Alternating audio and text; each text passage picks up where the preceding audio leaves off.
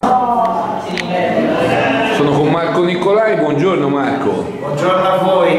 Senti, la prima domanda, elezioni regionali, ma sono importanti, bisogna andare a votare, cioè o andiamo a votare soltanto per le amministrative intese come consiglio comunale e poi alle prossime politiche?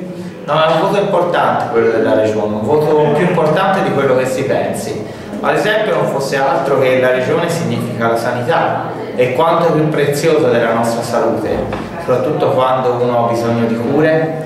Quindi tutto questo rientra nelle competenze, nelle decisioni della regione e quindi è un voto utile quanto il voto delle amministrative. È vero, le amministrative si tocca più concretamente, ma anche la qualità dei nostri ospedali, la qualità delle cure si tocca altrettanto concretamente. Dunque è importantissimo davvero andare a votare.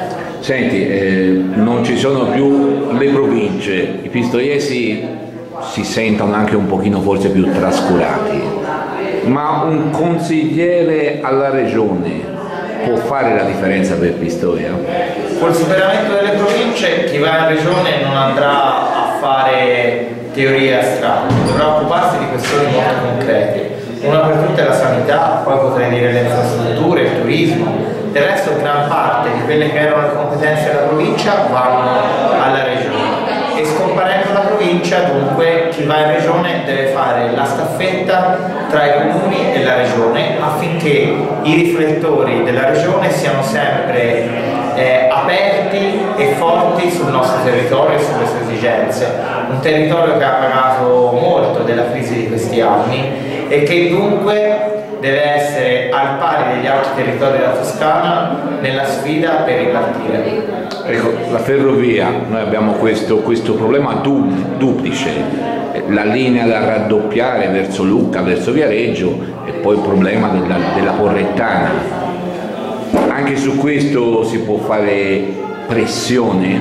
Anche su questo si deve fare pressione sulla, sul raddoppio della linea da Pistoia a Lucca, governo e regione finalmente hanno stanziato le risorse.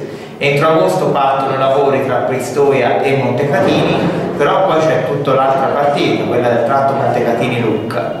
E siccome le nostre ferrovie sono dell'Ottocento, eh, questo intervento è un intervento importante che aiuta la nostra economia e aiuta anche la vita dei pendolari, uno dei quali sono stato anch'io, che spesso con questa storia del binario unico si trovavano a fare viaggi lunghissimi e appesi a un equilibrio fragile in cui un treno in ritardo costringeva magari a stare 10, 15, 20 minuti, 30 in una stazione. E quindi questo serve davvero a velocizzare il trasporto merci e il trasporto poi appunto delle persone rispetto al quale c'è una domanda crescente in Toscana le presenze sui treni aumentano quindi significa un servizio importante che deve essere potenziato sulla Porrettana uguale la stessa cosa, in particolare bisogna valorizzare tracchia e l'interscambio tra gomma e rotaio eh, sia per le merci sia rispetto anche alle persone.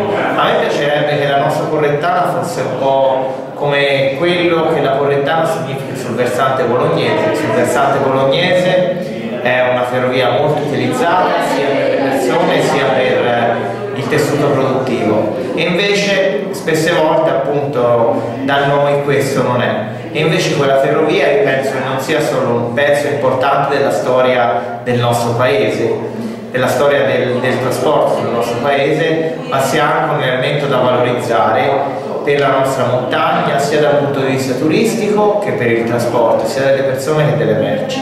È chiaro però che la Regione ha dato una, un contributo importante per il consolidamento della linea, ora però bisogna farla vivere e farla vivere significa più passeggeri e anche magari qualche trasporto merci su quella linea. Benissimo, noi ringraziamo Marco Nicolai, a presto. Grazie a voi, a presto.